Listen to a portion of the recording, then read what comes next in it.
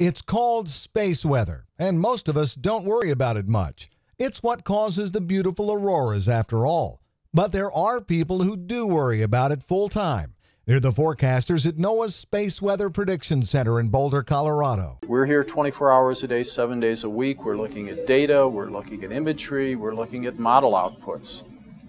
As conditions develop, we put out alerts, warnings, and watches of imminent activity to our customers so they can take action. Predicting space weather is a lot like forecasting hurricanes. When we see an eruption on the sun, space weather forecasters will issue a watch. We too can see way in advance that something may be coming towards the Earth. That lets them warn industries that need to prepare, like the companies running our power grids.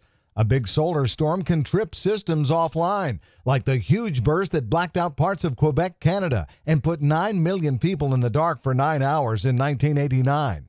Solar storms can also impact satellite systems responsible for GPS, and that just doesn't affect the navigation system in your car. It can interfere with worldwide flight and shipping systems, agricultural operations, and even deep sea oil rig functions.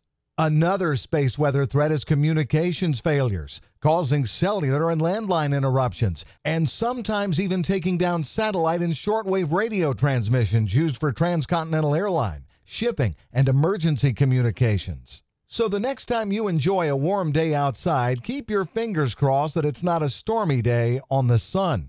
For Weather Nation, I'm John Van Pelt.